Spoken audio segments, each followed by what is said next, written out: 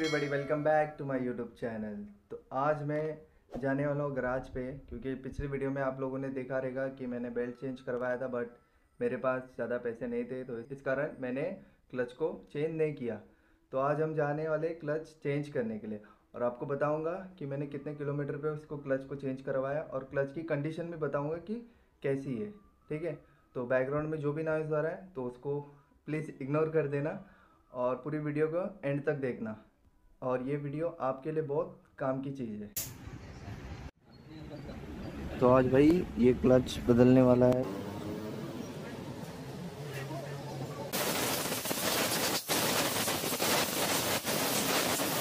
रख देना फिर आराम से जैपिंग कर और लगा।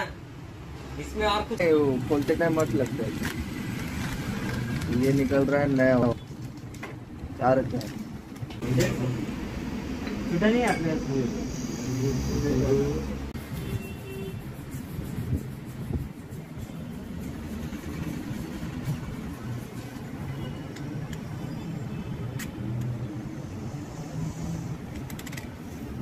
पिकअप तगड़ा भागेगा। अरे एक ही बार में झटके में नहीं भागेगा। थोड़ा कसने के बाद भागे। नहीं तो वो जगह डाल दिया तो पिकअप क्यों नहीं मिलेगा। ऐसा भी है क्या? हाँ आप भी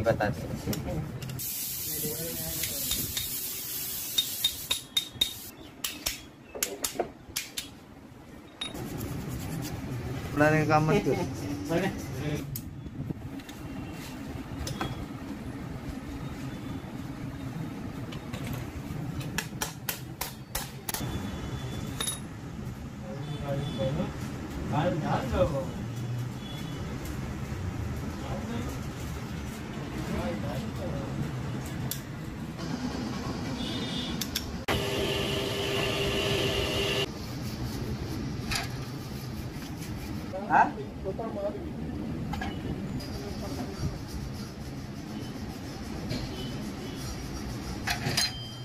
काला पीला हो गया रे।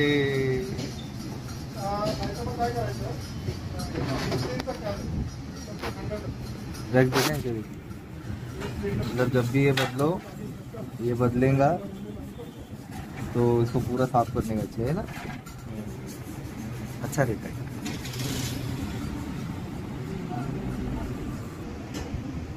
वो पीछे का हमें अभी देखा। पीछे का ब्रेक कैसे खत्म होने का कैसा होता है? आवाज़ आता है ब्रेक मारेगा तो वैसा उसमें आ रहा था।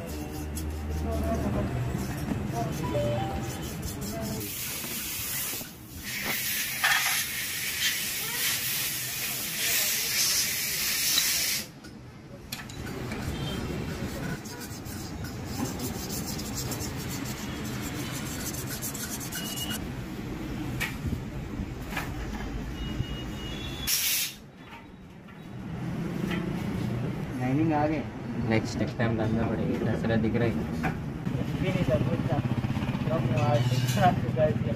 रोलर गोटी स्पीड पार्ट वाले को बोला रोलर गोटी पे बोलते हैं क्या है? रोलर गोटी है क्या? तो पूरा घस गया था?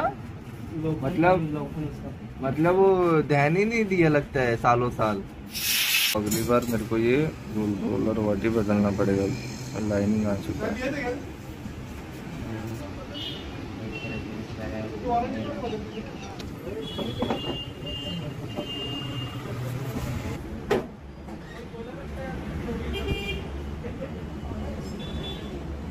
सेठ जी बहुत टाइट है वो।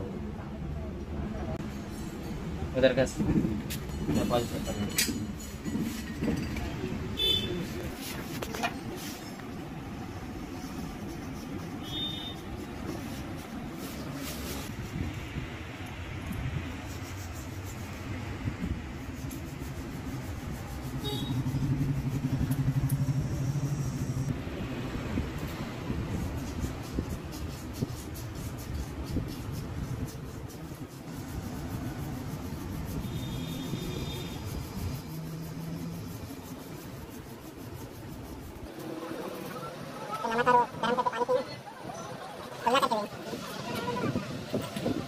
मैं देंगे ना खुल तो ठीक हो जाएगा।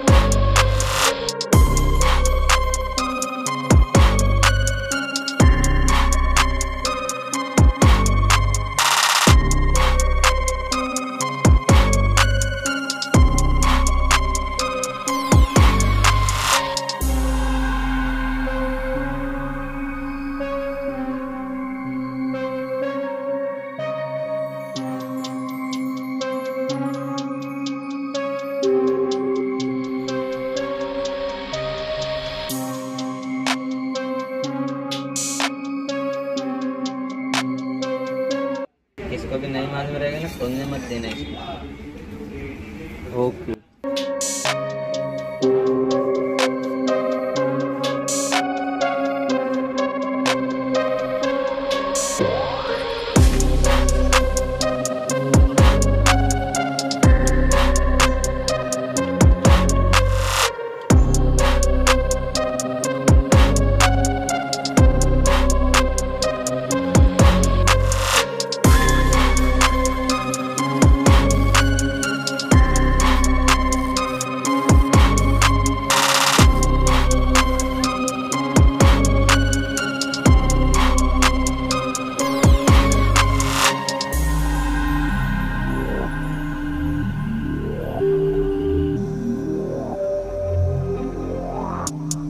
तो